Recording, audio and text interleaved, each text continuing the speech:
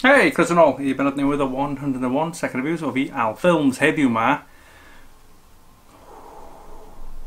Dwi'n dod yn siarad dan hwn. Blockbuster newydd y roc, newydd o allan, lle mae o yn gorau safio i deulu o adeilad mwy yn y byd sydd ar dan efo terrorists yn efo. Oce, okay, nawn ni'n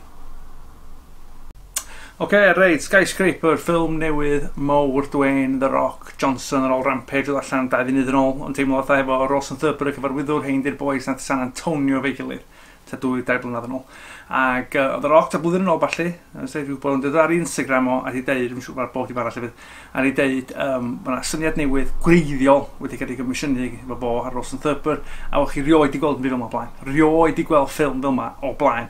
Ffilm sydd efo adeilad mawr, yr un mwyaf yn y byd, sydd ar dan i'r eich roth, mae'n dechrau tan yn y fo.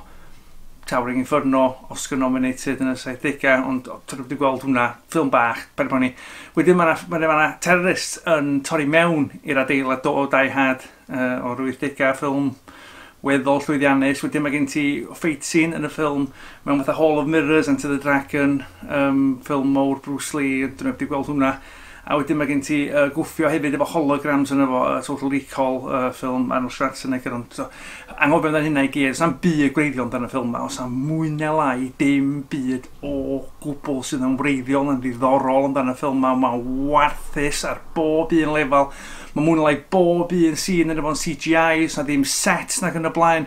Ond be di'r peth mwyaf di, a dyma di'r un peth o San Antonio oedd o warthu sef ydi, maen nhw'n meddwl, mae pobl sy'n neud y ffilm yma, mae Ross yn Thurber a pobl sy'n sgwennu hyn, yn meddwl bod y roc yn gyd-reactio.